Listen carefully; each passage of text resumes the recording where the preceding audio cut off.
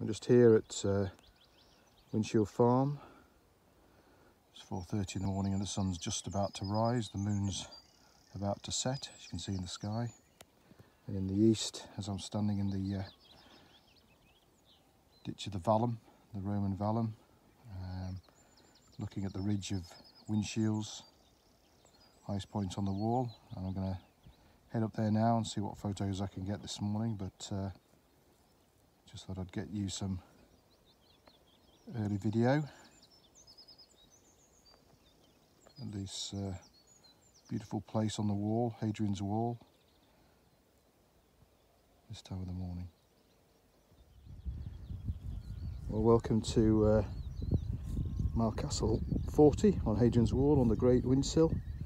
Uh, and Hadrian's Wall's running away to the east of me and the sun's rising and the mist is just beginning to burn off uh, Crag Lough and the great crags that the wall uh, wanders over on its way east. You can see the uh, the great north ditch there highlighted beautifully in the uh, early sun and the wall and Milecastle 40 is just uh, in front of you where the, uh, the new information board is. And in the distance is uh, Barcombe Hill and below that sits the great fort of Vindolanda and I have the uh, South Tyne Valley still filled with uh, mist. And in front of me there, Twice Brewed Pub and the uh, National Park Discovery Centre in the trees.